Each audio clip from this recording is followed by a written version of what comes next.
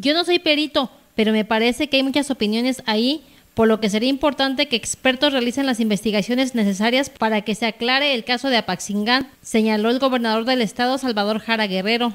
Yo no soy perito en la materia, me parece que hay muchas opiniones ahí y otra vez yo no estoy calificado para saber si esto tiene algún tipo de calidad pericial o no.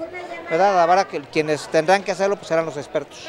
Cuestionado sobre el reportaje que publicó un medio nacional en el que a través del testimonio de comerciantes, médicos, familiares de muertos y lesionados se menciona que fueron ejecutados por policías federales, el mandatario estatal dijo que a él no le corresponde ordenar investigar el trabajo periodístico, pero sí le preocupa que se haya difundido en un medio tan conocido a nivel nacional. Me preocupa que haya salido en un medio tan conocido a nivel nacional.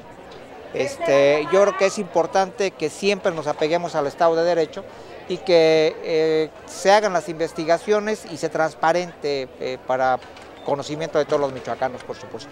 Entrevistado también sobre el proceso electoral, Salvador Jara se negó a ahondar sobre la actividad que han desarrollado los candidatos para no violentar la veda y solo confió en que el voto de los michoacanos sea consciente y razonado. Para Cuasar TV, Sandra Sáenz.